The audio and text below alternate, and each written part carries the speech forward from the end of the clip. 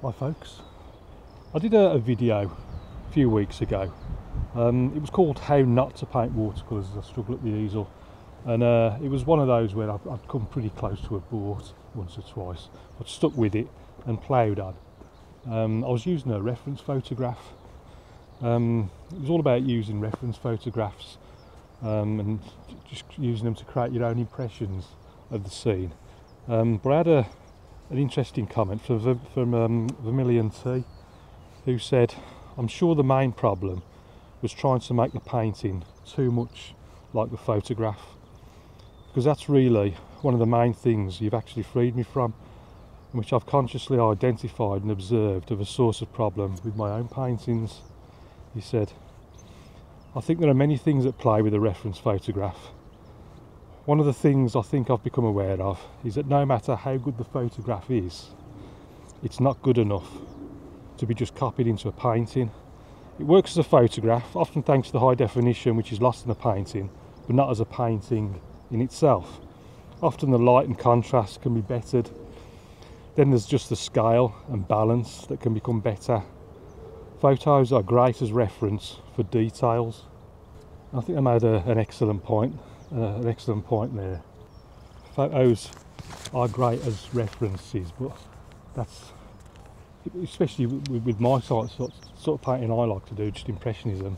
Um, that's all they are, just a reference, um, and, and, shouldn't really be copied. There's, there's, so many decisions to make when you when you've got a reference photograph. Um, whether you want to change the composition, move elements about within the painting, um, the light, the contrast, the colours, um, what to leave in, what to leave out.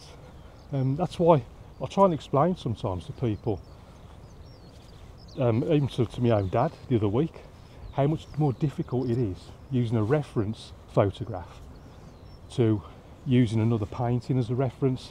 Because when you copy a painting, the, the artist has made all these decisions previously. They've made all these decisions for you. And until you actually try using a, a, a painting from a reference photograph, you don't realise just how difficult it is.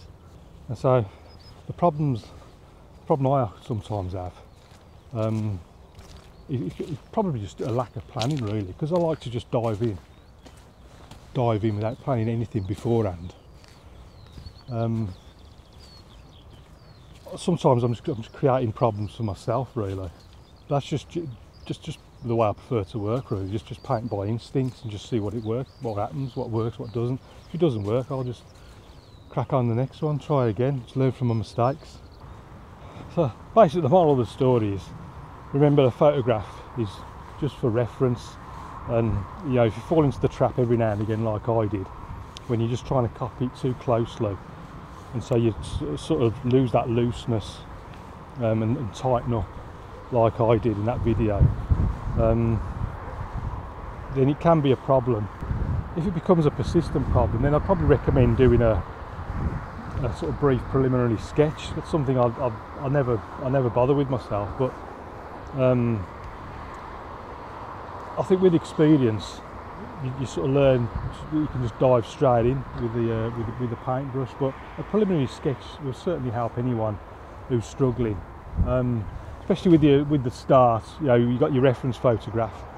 Um, like the, the, the, things I just mentioned before with the, the, composition, what to leave in, what to leave out. And, I mean, look, I mean, if you was trying to paint this scene now, there's so many different elements to it.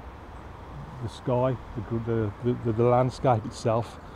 How would you rearrange everything? Um, would you put the horses in or would you stick them over there? Would you have that tree there, these bushes over here? Maybe change the colours about the colours contrast better with the with the ground. I mean, there's so many decisions to make, but that's all the joy of painting, really. I always try and just make it up as I'm going along, make all these decisions, but especially if you're a beginner, you probably to give it half a minute before you start painting, maybe.